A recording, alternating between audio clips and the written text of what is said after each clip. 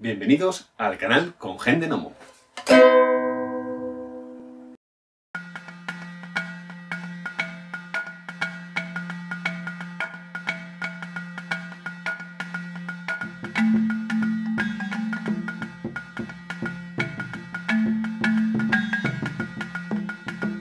Hoy es un día muy especial para mí. ¿Por qué? Pues porque hoy os voy a desvelar algunas curiosidades. Para empezar, ¿por qué grabo los vídeos aquí? Este es un canal de YouTube de un escritor que tiene un blog en el que habla de literatura fantástica, ciencia ficción, literatura juvenil.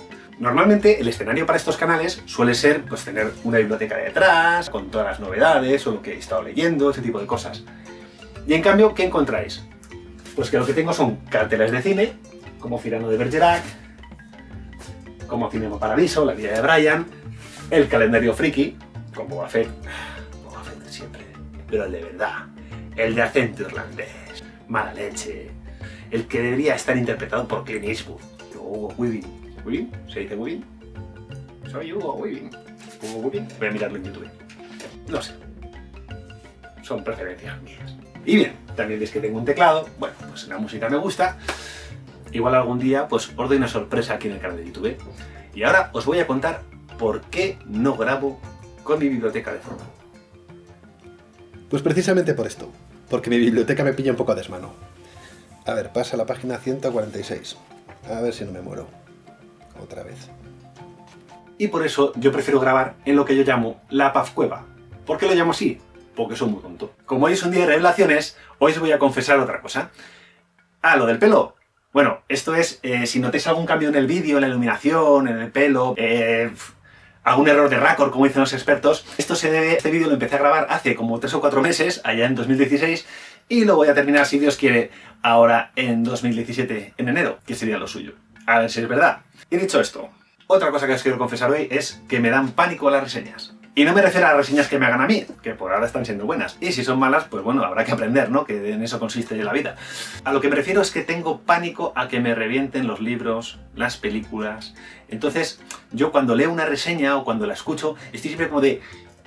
Así, con, con, con todo apretado, para entendernos. Dispuesto enseguida a quitarme los cascos, apagar la página web, taparme los ojos, tapar los oídos, tapar la nariz, como si me bañaran en el Ganges, ¿vale? De hecho, ahí tengo desde hace meses eh, la novela de Ender Senocida, eh, porque a un colega se le ocurrió decirme, mmm, este es que es un poco más enrevesado y cuesta un poco más, y fue como de, pues mira, ahora no tengo cuerpo para leer eso. Que si no me hubiera dicho nada, eh, mi amigo, pues mmm, ya me lo habría leído posiblemente y lo hubiera disfrutado. Pero, por ese motivo, tampoco soy muy de hacer reseñas en el blog.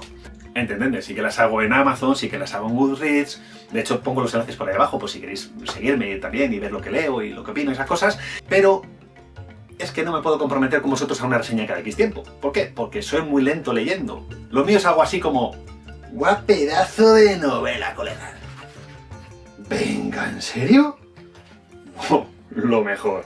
Pues nada, ahora mismo planto una reseña porque esta novela la tiene que conocer todo el mundo. ¿Ah? Si ya se han muerto todos. He dicho esto, y porque nunca te debes fiar demasiado de un escritor de fantasía, hoy voy a hacer una reseña pero la voy a hacer de una forma un poco especial. Ja, no sé spoiler, lo pone en el título, reseña musical. Reseña musical, es que yo también, como si revelara algo. El caso es que quiero hacer una reseña, casi un homenaje, a unas novelas que me están encantando, que son El ciclo de la luna roja, de José Antonio Cotrina. Antes de empezar, si sois de los míos, que ya estáis ahí preparados para bañaros en el Ganges, unas pequeñas advertencias. Uno, no me he leído la trilogía completa. Voy a echar un poquito para acá, y así sale la imagen aquí chuli, a ver si lo consigo. Dos, no voy a hacer spoiler. Y tres, eh, señor Cotrina, no le conozco en persona, me encanta su trabajo, esto está hecho con el mayor de los cariños, espero me perdone. Y si me tiene que dar alguna colleja, me la da flojita porque estoy ahora mismo en modo de escritura de una novela, de corrección y esas cosas y se me mueven las ideas y ya no... No lo mismo. Por cierto, este vídeo al final no tiene tomas falsas como tienen los anteriores, sino que para mi vergüenza y escarnio he querido seleccionar unas escenas cotidianas navideñas que me dio por grabar es que a mí la Navidad me gusta mucho y me da por hacer muchas tonterías. ¿Y por qué no las voy a compartir con vosotros? Total, esto no va a ningún lado. Y si os gusta el vídeo, no olvidéis darle al like, compartir o incluso suscribiros al blog para tener trato enchufado. Enteraros los primeros de las cositas, contenidos adicionales, sorteos, promociones y cualquier otra cosa que se me ocurra. Y sin más, comenzamos la reseña musical de Roca Barancolia. Mi nombre es Héctor, vivo en Roca Barancolia. Me engañó un tal de Néstor con el humo de su pipa. Aquí Bruno está encantado. A mí me han jodido la vida. Vivo en el Torreón Margalar, en Roca Barancolia. La vida, la vida no vale un duro. Esto es Roca Barancolia. Sé que ahí no va el acento. No seas tiquismiquis, cotrina.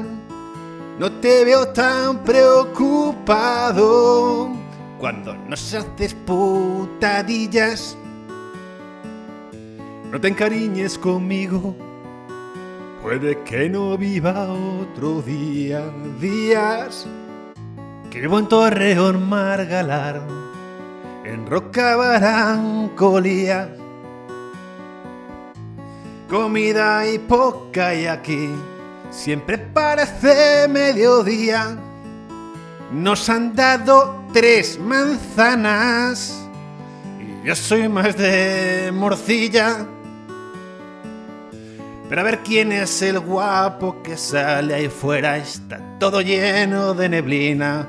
Mira, nos arrancaron de casa, nos borraron de la vida.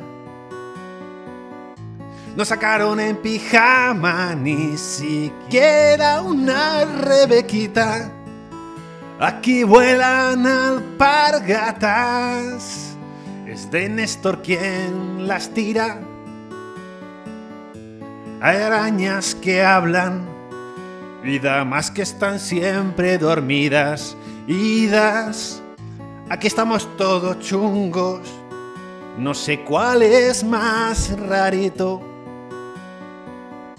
si el tonto la jaula o el cachas morenito. Y las chicas ni te cuento. Bueno, yo soy retraidito. Pero que si una ve cosas y la otra hay con sus cuentitos. Madeleine está buena. A mí la que me mola es Marina. Van al baño y no cierran la puerta, ya que hay alguna gente que mira. Somos doce adolescentes en un torreón cotrina. Que no pasen más cosas, eso sí que es buena fantasía. Eso sí que es buena fantasía. Eso sí que es buena Divine. Vale, ¿quién apaga el playback? ¿Me has hecho un Milli Vanilli?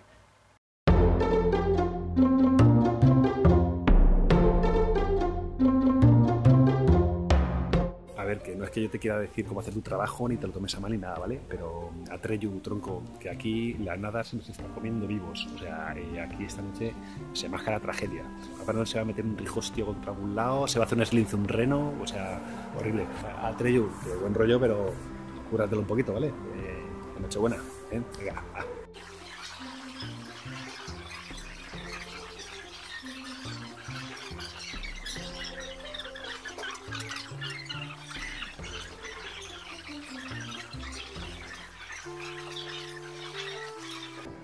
Es que no se mueve ni uno, macho. Me da un challenge cojonudo.